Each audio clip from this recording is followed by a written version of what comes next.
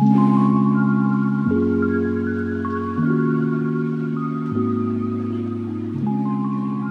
Friends আমি ঝুমা আর আপনারা দেখছেন নেচার ফরএভার চ্যানেল আজকে আমরা আলোচনা করতে চলেছি কিছু এমন প্ল্যান্ট নিয়ে যা আমাদের প্রচুর পরিমাণে অক্সিজেন দেয়। সেরকমভাবে দেখতে গেলে সব গাছই আমাদের অক্সিজেন দেয়, কিন্তু তার মধ্যেও এমন কিছু গাছ আছে যেগুলো অক্সিজেন আমাদের অনেক বেশি করে দেয়। এবং সেগুলোকে আমরা ইনডোর প্ল্যান্ট হিসেবেও ব্যবহার করতে পারি। তো হ্যাঁ সেটাই আজকে আমাদের ভিডিওর বিষয়। এমন কিছু গাছ যা আমাদের অনেক বেশি অক্সিজেন দেয়, সেগুলো কীভাবে আমরা বাড়িতে লাগাতে পারি, আর কি কি ভ্যারাইটির সেই প্ল্যান্ট হয়, সেই সমস্ত তথ্য নিয়ে আজকের ভিডিও তো এই ভিডিওটা আজকে এই পরিস্থিতিতে আমার মনে হয়েছে খুবই জরুরি, কারণ এখন যে পরিমাণে পরিবেশ দূষিত অক্সিজেন দায়ী প্ল্যান্টের আমাদের খুব দরকার। তো ভিডিওটা যদি আপনাদের ভালো লেগে থাকে, তাহলে ছোট্ট করে লাইক করে দেবেন। তাহলে এরকম ভালো ভালো ভিডিও আরও বেশি করে তৈরি করতে অনেক বেশি মনোবল বেড়ে যাবে। তো চলুন সোজাসুজি চলে যাব ভিডিওতে। তো ফ্রেন্ডস আমরা বেছে নিয়েছি এমন পাঁচটা অক্সিজেন প্ল্যান্টকে যেগুলো আমাদের কাছে খুবই ইজিলি অ্যাভেলেবেল এবং নার্সারিতে আমরা সহজেই সেই গাছগুলোকে পেয়ে যেতে পারি। প্রথমেই আছে আমাদের স্নেক প্ল্যান্ট স্নেক প্ল্যান্ট খুব কমন একটা প্ল্যান্ট এবং যেটা আমরা আশেপাশেও প্রায়শই দেখে থাকি। আর এই প্ল্যান্টের মধ্যে অনেক ভ্যারাইটিও আমরা পেয়ে যাই।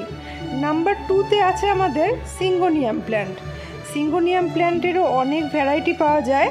খুব একটা কমন ভ্যারাইটিকেই আমি বেছে নিয়েছি বসানোর জন্য। নাম্বার থ্রিতে আছে আমাদের মানি প্ল্যান্ট মানি প্ল্যান্ট তো আমরা সবাই চিনি এবং খুব সহজেই আমরা আমাদের আশেপাশে পেয়ে যেতে পারি। নাম্বার ফোরে আছে আমাদের অ্যাগ্লোনিমা প্ল্যান্ট। অ্যাগ্লোনিমা প্ল্যান্ট খুব ভালো দেখতে একটা প্ল্যান্ট এবং খুব ভালো অক্সিজেনেরও কাজ করে। এবং নাম্বার ফাইভে আমাদের আছে peace lily. Peace lily plant একটু আনকমন হলেও নার্সারিতে কিন্তু সহজেই আমরা খোঁজ করে পেয়ে যেতে পারি। আর পিস লিলি প্ল্যান্ট শুধু অক্সিজেন আমাদের দেয় না, সঙ্গে একটা সুন্দর ফুল ফোটার সাথে সাথে আমাদের কিন্তু বাগান বা ঘরের সৌন্দর্যের মাত্রাও বৃদ্ধি করে।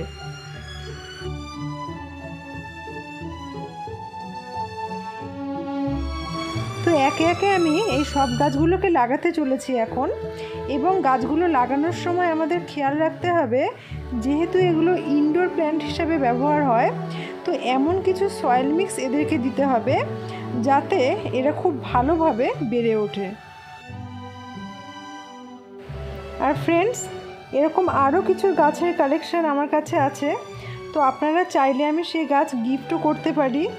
ফেসবুক পেজের লিংক ডিসক্রিপশান বক্সে দেওয়া থাকবে।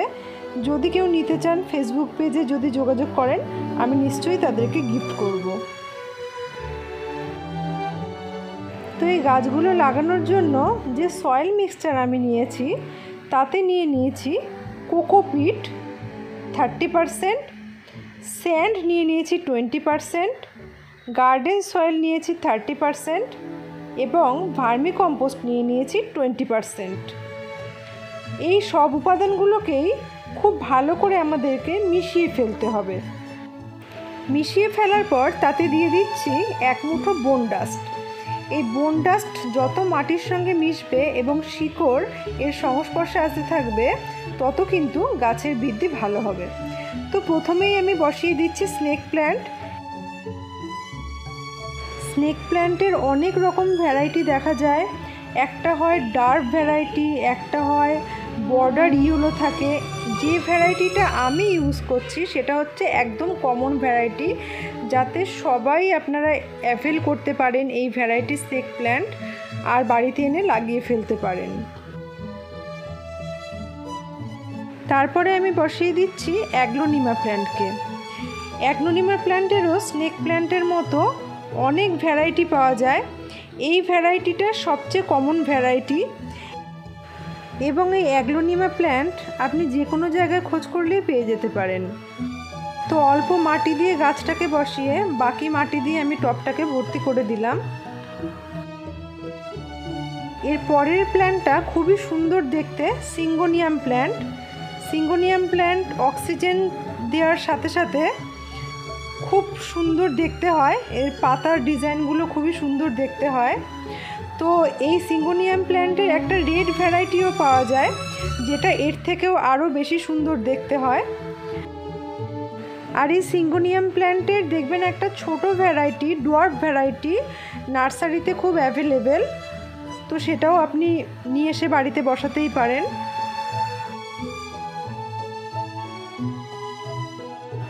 এই গাছটা আমাদের সবার খুব পরিচিত একটা গাছ। হ্যাঁ মানি প্ল্যান্ট গাছ। তো মানি প্ল্যান্ট গাছ বসানোর সময় ওর গোড়ার দিকের যে পাতাগুলো আছে, সেই পাতাগুলোকে আমাদের কেটে ফেলতে হবে। যেহেতু ওই গোড়ার পোর্শনটা আমাদেরকে টবের ভেতরে দিয়ে দিতে হবে। আর মানি প্ল্যান্টের কাটিং যখন আমরা নেব, তখন এমন একটা কাটিং নেব যার মধ্যে কিছু শিকড় থাকে। আর যখন আমরা গাছটাকে মাটিতে বসাবো, তখন খেয়াল করব যে ওর রুটগুলো যে বেরিয়ে আছে, যে কাটিং থেকে, সেই রুটগুলোকে আমাদের টবের ভেতরে বসিয়ে দিতে হবে এবং তার উপরে কিছুটা মাটি চেপে দিতে হবে যাতে রুটগুলো মাটির সংস্পর্শে থাকতে পারে। এই একই পদ্ধতি ইউজ করে আমি এই পিস লিলি গাছটিকে এবং আর একটা মানি প্ল্যান্ট গাছকেও আগেই বসিয়ে দিয়েছিলাম। এটাও দেখুন, অ্যাগ্লোনিমা প্ল্যান্টের আর একটা ভ্যারাইটি যেটা আমি একইভাবে বসিয়ে দিয়েছিলাম। এই ভ্যারাইটিটা দেখবেন খুবই দেখা যায় নার্সারিতে। তো আমরা খুব সহজেই এরকম কিছু গাছ আমাদের বাড়িতে লাগিয়ে ফেলতে পারি।